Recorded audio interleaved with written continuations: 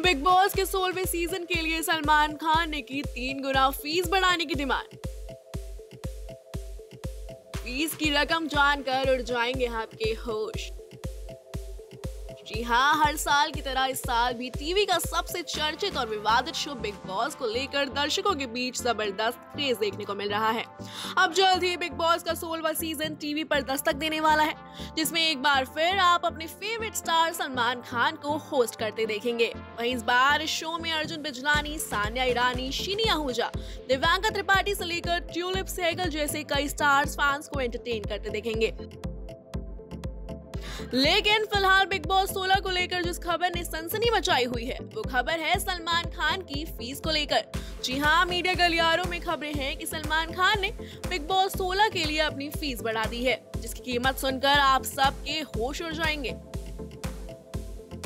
बताया जा रहा है कि सलमान खान ने बिग बॉस 16 के लिए एक दो परसेंट नहीं, बल्कि सीधे तीन गुना अपनी फ़ीस में हाइक मांगा है। अगर देखा जाए तो सलमान खान ने सीज़न 15 के लिए साढ़े तीन सौ करोड़ चार्ज किए थे। अगर इसके मुताबिक हिसाब लगाया जाए तो सीज़न 16 के लिए हज़ार करोड़ रुपए से ज़्यादा की डिमांड कर रहे हैं। हालाँकि इस खबर की अब तक पुष्टि नहीं हुई है। इतना ही नहीं, एक वेबसाइट ने तो ये भी दावा किया है कि सलमान खान ने मेकर से साफ़ कह दिया है कि वो तभी बिग बॉस 16 को होस्ट करेंगे जब उनकी फ़ीस बढ़ाई जाएगी।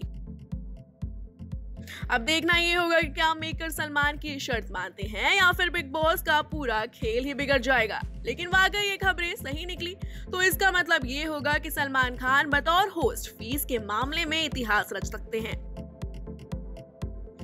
इससे पहले बिग बॉस 15 के दौरान सलमान खान की फ़ीस साढ़े तीन सौ करोड़ रुपए की मांग की थी, जिसे मेकर्स ने पूरा किया था। अब देखना होगा कि क्या बिग बॉस के मेकर्स इस बार भी सलमान खान की डिमांड पूरी कर पाते हैं या नहीं। बता दें कि सलमान खान पिछले तेरह सालों से बिग बॉस को होस्ट कर रहे हैं।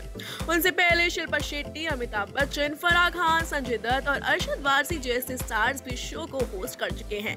लेकिन सलमान खान का अंदाज फैंस को सबसे ज़्यादा पसंद आया और वही शो के लिए हमेशा डिमांड में रहते हैं।